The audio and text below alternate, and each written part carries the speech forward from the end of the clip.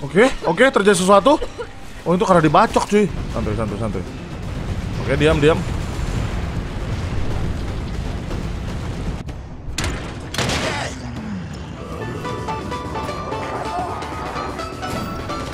Anjir, masuk semua, coy.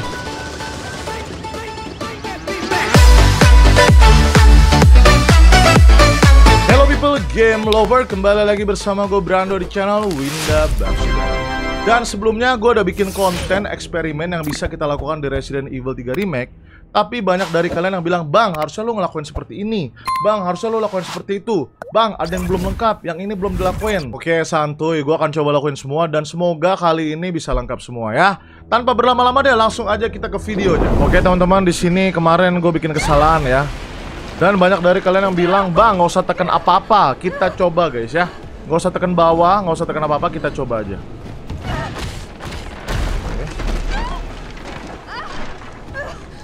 Oke, gue lepas tangan ya. Bisakah kita... Eh, ini sadis by the way ya. Oh bener cuy, diam cuy.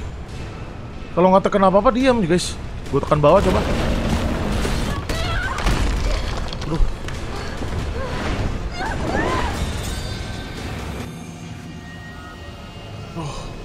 Syukur nggak ditunjukin ya geprekannya gitu. Oke, kemarin juga ada yang bilang buat coba bang, coba tolongin Brad. Kembali lagi ke restoran. Saat kita udah dapat pistol ya, kita coba guys, kita coba bisa nggak ya? Berarti gua harus melalui beberapa zombie yang ada di jalan cuy.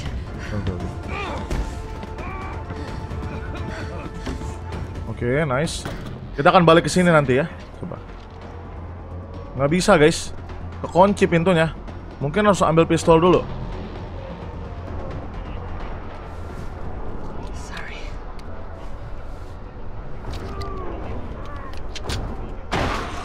Oke. Ada beberapa zombie di sana. Kita harus take down dia atau gua perfect dodge mungkin. I don't know. Wah, anjir banyak banget coy. Wah, anjir banyak banget men. Kukira cuma berapa? Coba coba. Barbar barbar. Nggak bisa guys.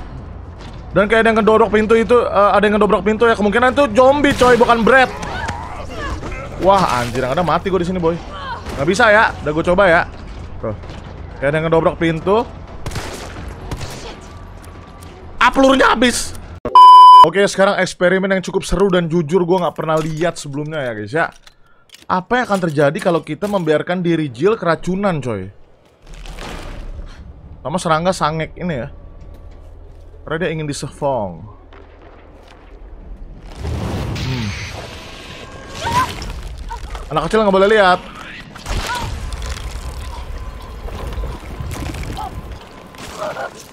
Oke, dia bakal keracunan si Jillnya dan kita akan biarin aja ya. Kita akan coba diemin aja guys apa yang terjadi nih. Kita nggak usah makan obat. Tuh ada obat ya, biarin aja. Kita cuekin, kita cuekin. Berapa lama nih ya?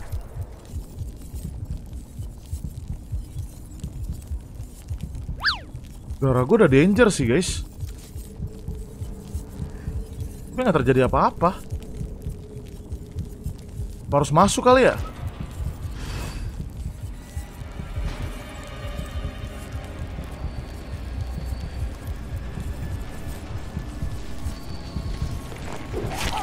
Oke, oke terjadi sesuatu.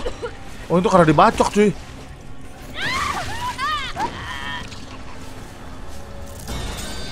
Oh, emang nggak bisa terjadi apa-apa kalau ditungguin guys harus udah danger, kena parasit dan juga dibacok, otomatis langsung keluar main anak-anak serangga menjijikannya.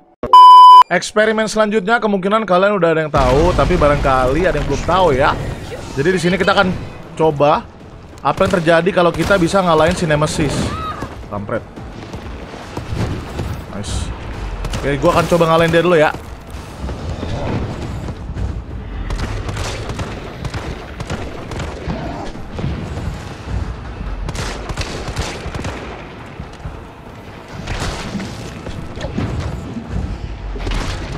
Nah, itu guys ya, dia sembah sujud dan dia bakal ngedrop supply case yang kalau supply case jadi buka itu menjadi kita lihat sama-sama.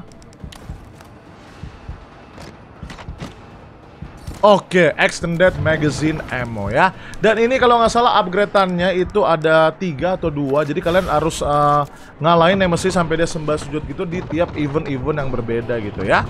Oke, kurang lebih seperti itu coy. Apa yang terjadi kalau kita dimakan sama si keong racun ya? Kita coba. Anjir, sampai patah gitu badannya.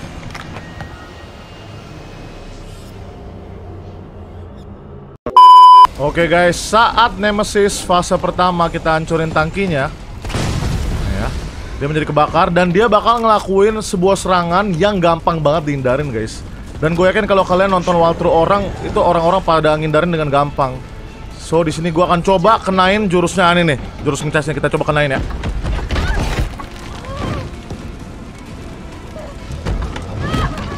Oke mati kah? Oh enggak, nggak mati ya Oh begitu Oke, oke, oke, oke, menarik. Walaupun nggak mati ya.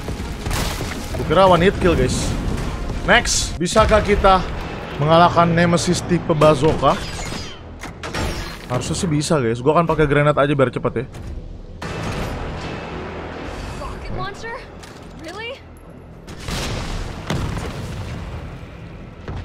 Uh, animasi bersujudnya beda ya. Oke bisa ya dikalahin ya Tapi dia nggak ngedrop apa-apa guys Coba mungkin gue lempar sekali lagi granat Gue masih ada granat gak sih? Oh nggak ada lagi cuy ada lagi gue granat guys Oke Kayaknya nggak perlu gue coba dua kali. Dia nggak ngedrop apa-apa cuy. Next di sini nih guys menarik juga karena di sini tuh ya balon gedenya itu bakal ditembak pakai bazookannya Nemesis dan dia bakal ngejar kita. Dan itu gampang dihindarin juga. Coba deh kita membodohi diri kita sendiri dengan sengaja kena gituan coy. Bisa nggak ya? Santuy santuy santuy. Oke diam diam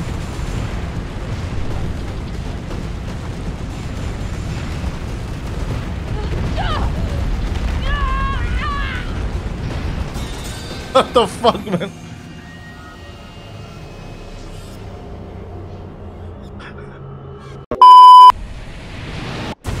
Oke okay, guys, di sini kita akan coba lagi ya karena kemarin katanya gue salah dan di sini gue nggak akan neken tombol apa-apa coy.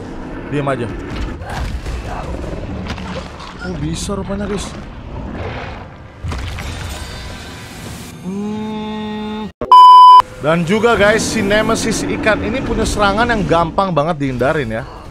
Gue akan coba ngeluarin serangannya dan itu gue yakin kalau kalian lihat walkthrough orang pasti dihindarin dengan gampang coy.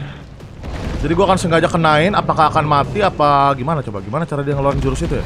Ah nih nih, nih. Aduh nggak kenal lagi tuh, gampang banget kagak ada range ya. Kita coba lagi deh. Ayo keluarin jurus tadi. Ah nih nih nih. Ah kena, sip, mati kah? Aduh sadis banget.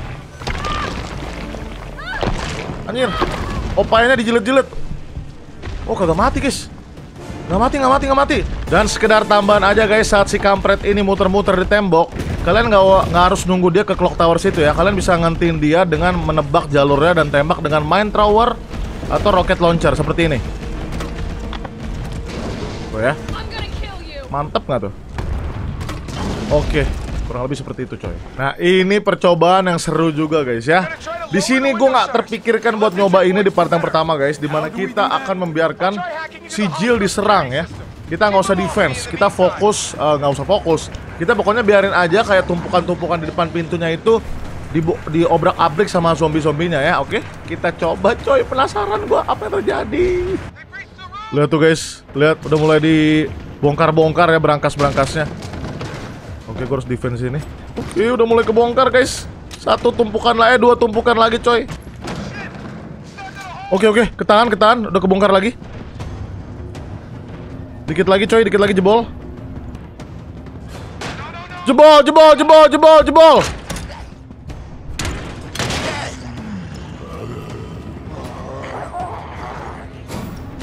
Anjir masuk semua coy. Ya Tyrell. Ya Jill. Jill. Oh my god digrepe.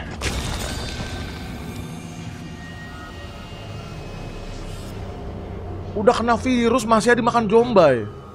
Digrepe pula. Dan sebentar lagi kita bakal lawan Nemesis fase 3 dan di sini kita bakal ketemu Nikolai dan Nikolai bakal nyolong vaksin kita. So banyak dari kalian yang nyuruh gue buat bang taruh vaksinnya di storage supaya nggak diambil Nikolai walaupun agak agak gimana gitu ya. Tapi nggak apa-apa gue coba aja ya kita taruh. Tor. Nggak bisa. Nggak bisa. Sudah terjawab teman-teman ya. Oke kita coba dimakan sama Nemesis fase 3 apa yang terjadi karena itu gampang dihindarin juga ya. coba ayo serang serangan makan lo mana ayo kasih gue sini ah, ini nih hop hmm sama aja ya sama aja kayak Nemesis fase 2 digigit-gigit uh, opainya Oke, apa yang terjadi kalau kita nggak nembak merah-merah tangki yang diarahkan oleh Carlos ya? Kita coba cek, coy. Buruan. Oke. Tangki nomor satu, kita nggak usah serang. Dia ngompet di belakang, kita diamin aja. Apa yang terjadi? Ngapain deh? Oke, iya, I know. He's behind number one. Oh, oke. Okay. Dia bakal nyerang kita gitu doang ya, lompat doang biasa. Oke, oke, oke. Oke, ini bonus aja guys. Kalian pasti buat veteran Resident Evil 3 klasik yang di PS1 itu tuh kecewa saat kita mau mengeksekusi si Nemesis. Si Jill tuh nggak bilang. Nah, dia bilangnya kayak gitu. Dia nggak bilang, uh, you want stars, I'll give you stars. Kayak yang kayak gini. You want stars? I'll give you stars. Padahal kalimat terkenal itu ada guys di Resident Evil 3 Remake ini. Oke, langsung aja gue tunjukin saat kapan si Jill ngomong kayak gitu. Nah, di sini lah guys si Jill bakal ngomong, "You want stars? I'll give you stars" ya. Saat kita mau ke kereta dan kita diarahkan ke sewer gitu buat mancing nemesisnya. Tapi kalian jangan sampai kena gebuk di sini karena kalau kena gebuk Jill nggak bakal ngomong kayak gitu ya. Stars, I'll give you stars tuh kan bener aduh kegebuk gua